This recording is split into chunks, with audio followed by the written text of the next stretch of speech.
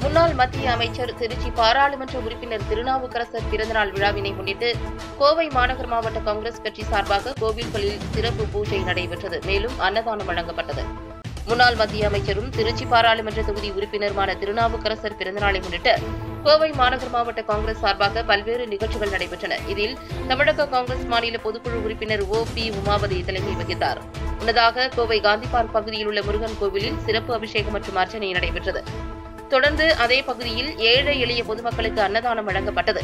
இந்நிகழ்ச்சியில் காங்கிரஸ் மாநகர் மாவட்ட துணை தலைவர்கள் C V C Gurusamy Tamilselvan Ukkadam circle தலைவர் ஜேம்ஸ் குமார் தெற்கு தொகுதி இளைஞர் காங்கிரஸ் தலைவர் கிளிண்டன் ஐஎன்டியூசி மாவட்ட துணைத் தலைவர் ரங்கநாதன் மாநில பொதுக்குழு உறுப்பினர் திலகவதி தமிழக காங்கிரஸ் சிறுபான்மை குழு மாநில ஒருங்கிணைப்பாளர் கோட்டை செல்லப்பா மற்றும் எழுபதாவது டிவிஷன் தலைவர் மோகன்ராஜ் உட்பட பலர் கலந்து கொண்டனர்.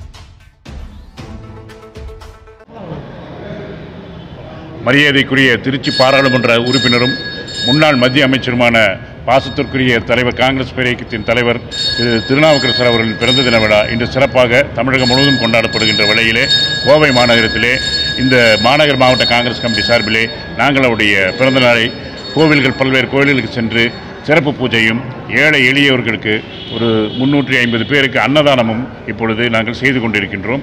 அவர் பல்லாண்டு நீடூழி வாழ்க. எல்லாம் வல்ல இறைவனை இந்த நேரத்தில் நான் பிரார்த்திக்கிறேன்